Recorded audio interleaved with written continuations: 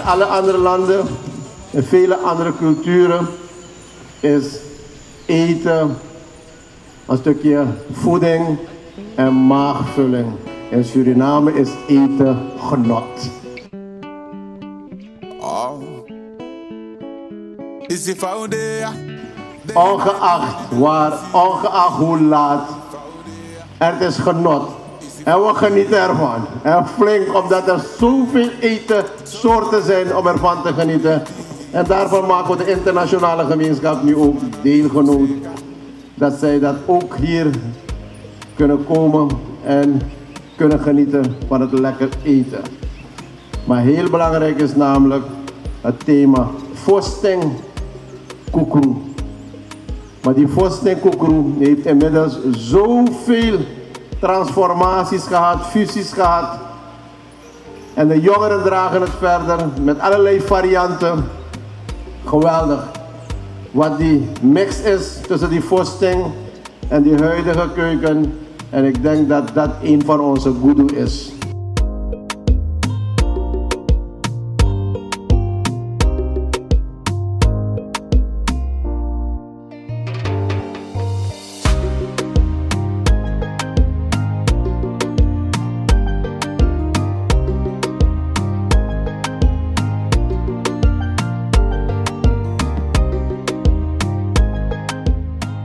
Dat we zoveel etnische groepen bij elkaar hebben die samen meedoen aan één activiteit. En het gaat om het Vosten Koekroe Festival. En alle standhouders, alle mensen zijn enthousiast. Iedereen is blij. Mensen lachen, mensen eten, mensen drinken. Het is toch wel een, een mooi signaal dat wij Surinamers echt um, kunnen verbinden. Dat we één kunnen zijn en al dat negatieve achter ons laten. Dit is Suriname waar je hebt dat verschillende mensen bij elkaar komen. En daarmee ondersteun ik het thema van de Nationale Commissie Jubileumjaren.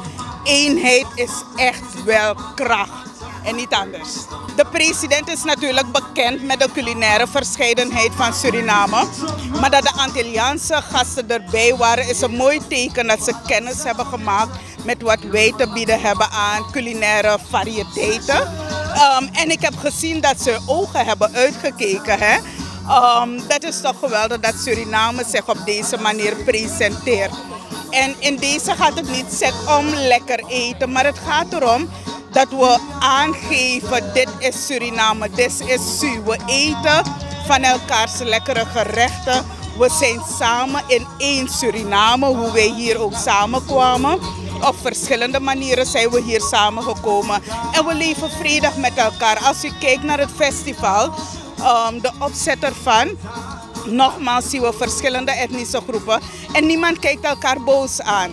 Ik heb keukens gezien waar die ene etnische groep echt uit die stand is gelopen om te gaan kopen bij die andere etnische groep. Hoe mooi is dat niet wanneer we dat zo zien? En dat zijn zaken die we moeten gaan koesteren. en Koekroe is om de gerechten van oudsher te, te, behouden, te conserveren, zodat ze niet verloren gaan. Maar um, het tweede doel is ook dat mensen bij elkaar komen. En uiteindelijk zien van hé, hey, dit is u. En hiermee kunnen we verder gaan. We kunnen internationaal gaan en ook een bijdrage leveren aan de toerismeontwikkeling.